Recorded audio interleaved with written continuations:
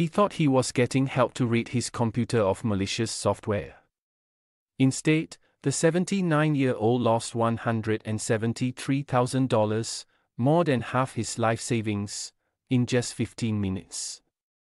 On April 17, Mr. Tan, not his real name, received an antivirus pop up alert warning him of malware being detected on his device. Alarmed, he called the support helpline displayed on the notification. Over the next three hours, Mr. Tan granted the person on the other end of the call, who claimed to be an officer from the Singapore Police Cybercrime Department, remote access to his computer.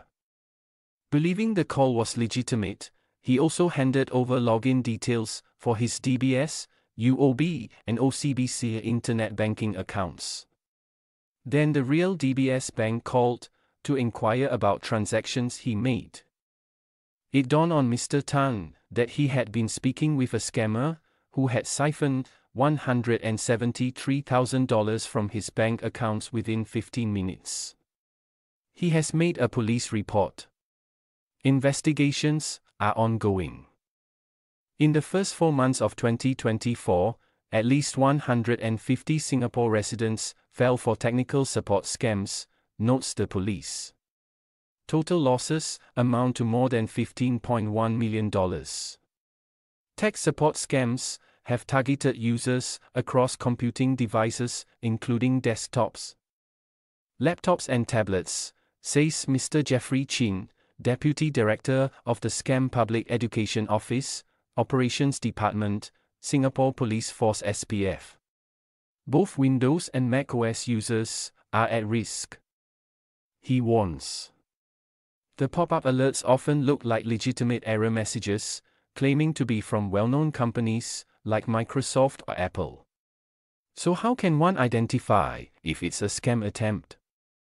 Mr. Dennis Chang, Chief Security Officer at Microsoft Singapore, says legitimate companies typically won't initiate unsolicited contact through pop up notifications.